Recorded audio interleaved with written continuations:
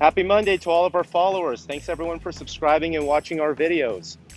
Today's workout in class is going to center around the squat clean thruster, also called a cluster uh, in our programming. Carly's going to start by demonstrating two cluster reps.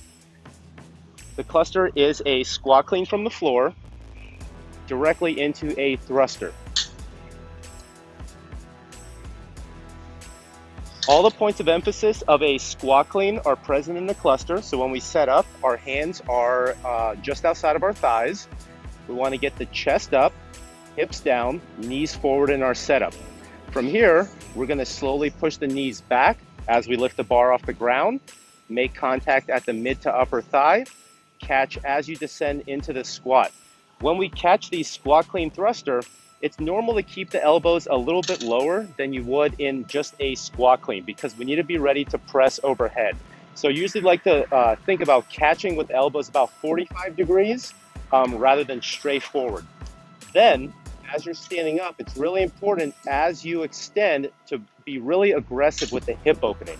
If you're not aggressive with the hip opening, you won't have enough momentum to press out the heavier loads overhead. So make sure you're being aggressive with the hips as you stand up before you start pressing. Monday's workout is granola bar, as many rounds as possible in 12 minutes. Seven bar muscle ups,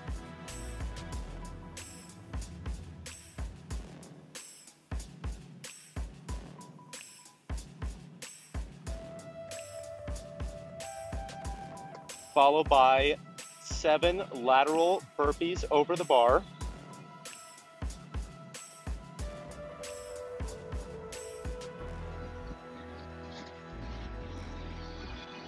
Followed by seven squat clean thrusters at 135 for men, 95 for women. Followed by another seven lateral burpees over the bar. scale the weights and movements so you can complete around three full rounds on this workout. Monday's home gym variation will be 12 minutes, as many rounds as possible of seven double dumbbell squat clean thrusters. You can go from between the legs or outside the legs, whichever one you feel more efficient with.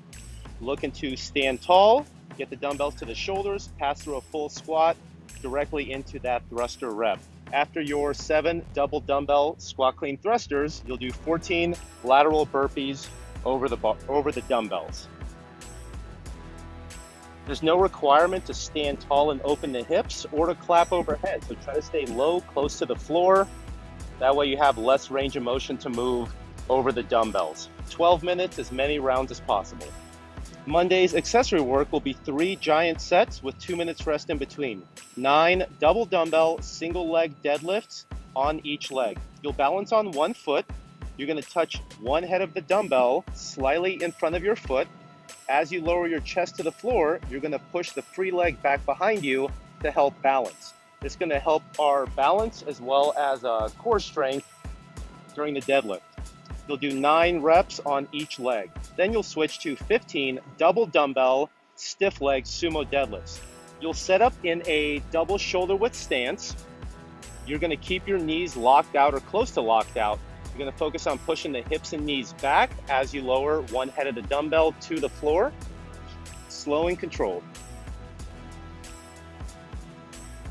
Finally, you'll perform 21 weighted glute bridges. Use a dumbbell or sandbag, lay that on top of your waist.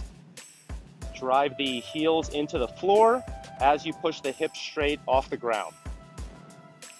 21 reps, weighted glute bridges. Monday's recommended mobility is going to be one minute per side front rack stretch. Hang a band from a pull up bar, place your elbow through the band, and then lean forward, stretching out the lats and shoulders. You'll do one minute per side. Then move to a light plate. Then you'll perform a one minute squat bottom hold with a plate to counterbalance.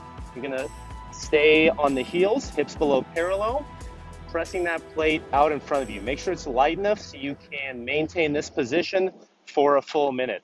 Have fun with your training this Monday, guys.